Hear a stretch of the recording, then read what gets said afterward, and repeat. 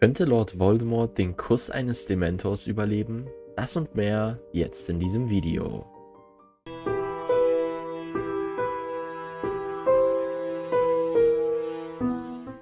Im heutigen Video werden wir der Frage auf den Grund gehen, ob die Seele von einem der dunklen größten Zauberer, der je gelebt hat, Lord Voldemort, überlebt hätte, wenn ein Dementor den berüchtigten Kuss eines Dementors an ihm durchgeführt hätte.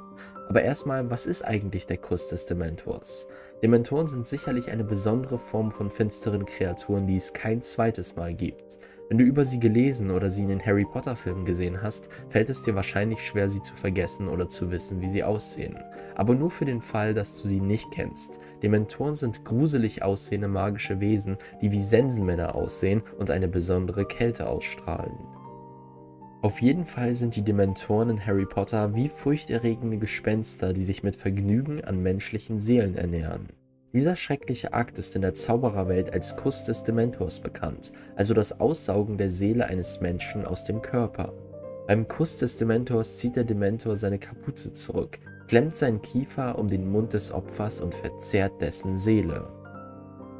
Da die Dementoren zur Bewachung des Zauberergefängnisses Azkaban eingesetzt wurden, ist es keine Überraschung, dass der Kuss des Dementors manchmal als Strafe des Zaubereiministeriums an Verbrechern vollzogen wurde.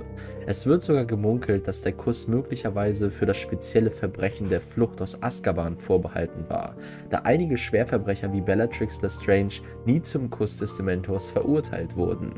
Dies erscheint etwas seltsam, da der Kuss des Dementors von vielen Hexen und Zauberern als ein Schicksal schlimmer als der Tod angesehen wird. Vermutlich liegt das daran, dass der Kuss des Dementors das Opfer als leere Hülle zurücklässt, lebendig, aber auch nicht wirklich. Nur ein Körper ohne die Fähigkeit zu denken oder zu fühlen und der Geist in einem andauernden vegetativen Zustand. Die Hexe oder der Zauberer ist unwiederbringlich tot, jedenfalls in der Seele. Aus diesem Grund wurde allgemein vermutet, dass jeder, der den Kuss an sich durchführen ließ, nicht als Geist zurückkehren konnte, da seine Seele von dem Dementor verzehrt worden war. Es heißt, dass niemand wirklich weiß, was mit der Seele geschieht, wenn sie von einem Dementor verschlungen wird. Im Laufe der Harry Potter-Reihe sehen wir, wie die Dementoren den Kuss ausführen oder fast ausführen. Angefangen bei ihrem Versuch, die drei Seelen von Harry Potter, Hermine Granger und Sirius Black in der Nähe des Schwarzen Sees in der Gefangene von Azkaban einzusaugen. Es gibt sogar eine Szene, in der Harry seinen undankbaren Cousin Dudley Dursley vor zwei Dementoren in Little Whinging rettet, weit weg vom Gelände vom Schloss Hogwarts und Azkaban. Das bringt uns zur heutigen Frage. Wenn ein Dementor den Kuss an Lord Voldemort angewandt hätte, was wäre dann passiert? Wäre seine Seele in der Lage gewesen, den Kuss zu überleben? Um diese Frage richtig zu beantworten, müssen wir sie schrittweise angehen, indem wir die verschiedenen Phasen von Voldemorts Leben vorsichtig begutachten. Zunächst einmal, wenn der Kuss des Dementors an einem jungen Tom Riddle durchgeführt worden wäre, bevor er zu Lord Voldemort wurde, bin ich mir ziemlich sicher, dass er nicht überlebt hätte. Stattdessen wäre Tom zu einem verwirrten Individuum geworden und der dunkle Lord wäre nie entstanden. Ich glaube, das gilt unabhängig davon, ob Tom ein kleiner Junge war oder der skrupellose gerissene junge Mann, der gegen Ende seiner Ausbildung in Hogwarts wurde. Ich denke, man kann auch mit ziemlicher Sicherheit sagen, dass wenn ein Dementor Voldemorts Seele aus seinem Körper gesaugt hätte, bevor der dunkle Lord seine Horcrux erschaffen hatte, glaube ich auch nicht, dass er überlebt hätte. Ich meine damit die Zeit vor seinem Aufstieg der Macht in den 1970er Jahren.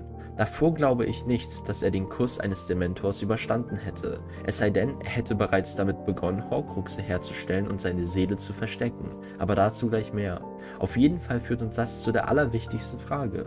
Nachdem seine Seele so oft gespalten wurde, was hätten die Dementoren überhaupt aus Voldemorts Körper saugen können? Und würde dieser Akt des Kusses der Dementoren ausreichen, um Voldemorts Geist und Seele zu töten, obwohl der Großteil seiner fragmentierten Seele in Horcruxen im ganzen Land versteckt ist? Um diese Frage beantworten zu können, müssen wir zunächst eine bekannte Fantheorie in Betracht ziehen über Dementoren und Harry Potter. Nach dieser Theorie fühlen sich die Dementoren während der gesamten Saga mehr zu Harry hingezogen als zu allen anderen Hexen und Zauberern.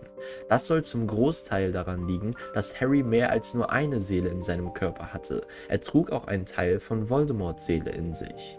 Das war natürlich die Folge davon, dass Harry einer von Voldemorts ahnungslosen Horcruxen war. Und mit dieser Theorie im Hinterkopf liegt es auf der Hand, dass Voldemort weniger attraktiv für Dementoren gewesen wäre als jede andere Hexe und jeder andere Zauberer, denn er hatte nur ein Achtel seiner Seele in seinem eigenen Körper. Hätten die Dementoren überhaupt ein Interesse daran gehabt, den Kuss der Dementoren auf den dunklen Lord in seiner fast seelenlosen Form anzuwenden? Oder wäre es eine Verschwendung ihrer Zeit und ihrer Bemühungen gewesen? Ich meine, wenn er die einzige Person in der Nähe gewesen wäre, hätten sie ihn sicher für das genommen, was er hatte, oder? Und was, wenn sie den Kuss zu diesem Zeitpunkt in seinem Leben an ihm durchgeführt hätten? Was wäre dann passiert? Da Voldemort bereits eine Art Hülle eines Zauberers war, ohne viel Seele, ein Fragment eines Fragments, wenn man so will, wäre seine Seele in der Lage gewesen, auf eine Weise zu überleben, wie es eine andere nicht hätte können?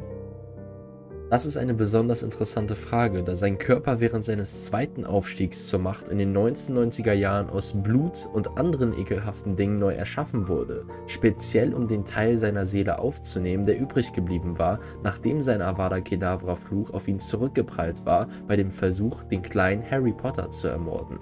Würde es eine Rolle spielen, dass Voldemorts Körper, das Ding, das die Überreste seiner Seele beherbergte, nicht seine ursprüngliche Form war?